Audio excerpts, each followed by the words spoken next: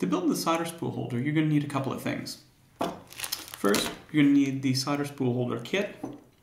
Uh, what doesn't come in the kit that you still need is some plastic weld. You can get this at any hobby shop, uh, a small rag of some sort, scrap of cardboard, and maybe some paper to protect your table surface. Okay, first thing, unpack the kit. what you get is the dowel to hold the actual solder roll. Um, this is the back plastic, this is the front plastic. Here are the two inner sides that hold up the dowel, and here are the two outer sides. So the first step is to actually start peeling this stuff. The way to do it is just sort of stick your fingernail underneath it and, and rip them off. It's sort of tedious and long sometimes. Um, what you don't want to do is use um, anything like a knife. After you get the stuff started, it's pretty easy. So you just keep going. Do all pieces. I hope there's a fast forward in iMovie because it's really boring to watch for you otherwise. Those all the colored pieces. Now for the clear front.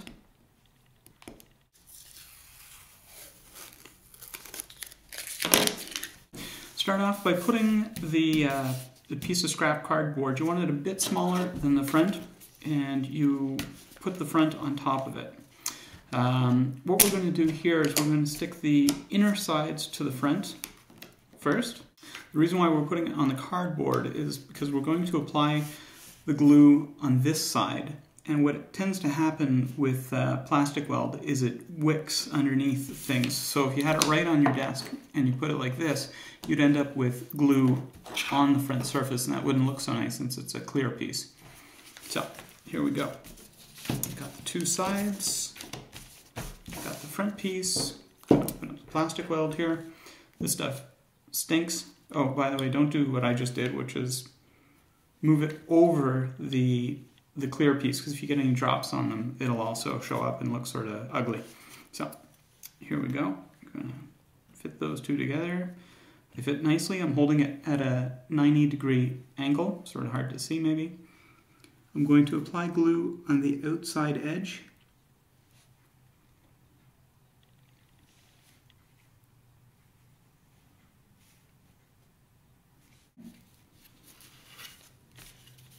for the other side, the same thing.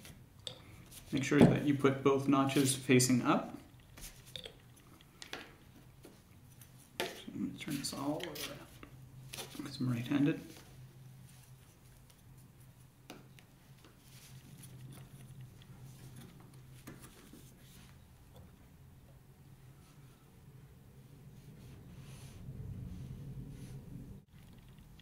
Okay, it's set but not solid.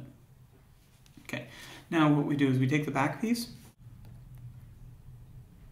fit it in like so.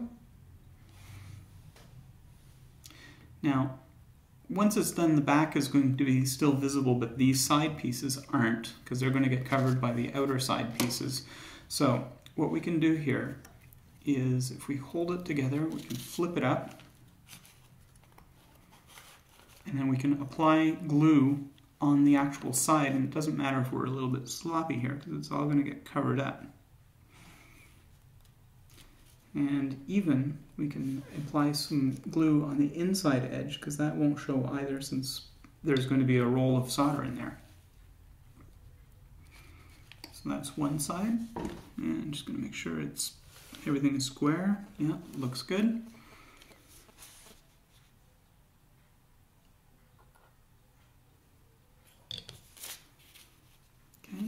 Can press the whole thing together a little bit. So we take our cardboard again. Since the back is a bit wider than the front, we'll support it on the piece of cardboard like so.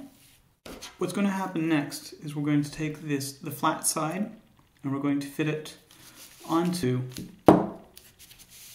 the side that's already there. So any pieces of dust that are on this we want to remove so that the sides fit perfectly flat uh, against each other.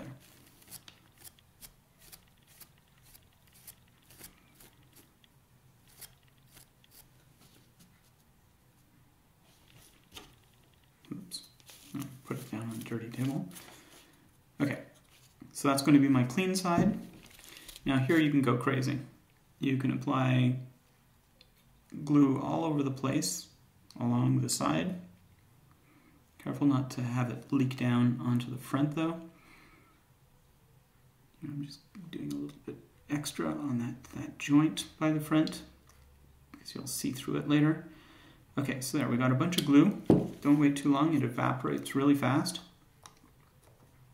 Okay, fit that in, squeeze it down. Now what I like to do is I like to stand it up because you want the bottom to be perfectly flat. So I'm pushing down and together at the same time. Okay, now for this side, got to do the cleaning process again. Okay, good. The exact same thing as the other side. We can apply glue all over the place here. Okay, pressing, squeezing. Okay, now I'm going to flip it up before it completely sets up. I'm going to push down and together.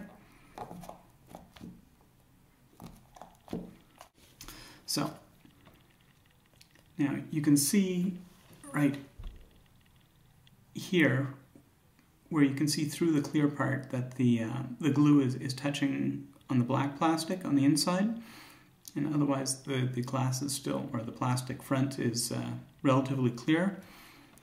On the inside we have the two troughs. That's where you can add uh, a little bit of extra glue because when you put it in here along the edge it will seep in.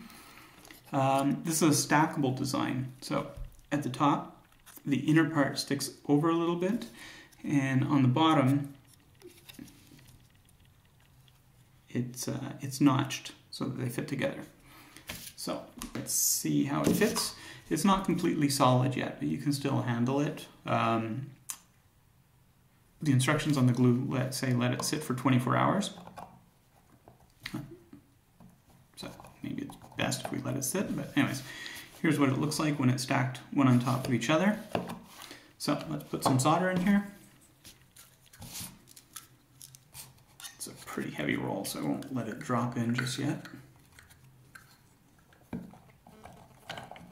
Here we go. So solid. Ta-da!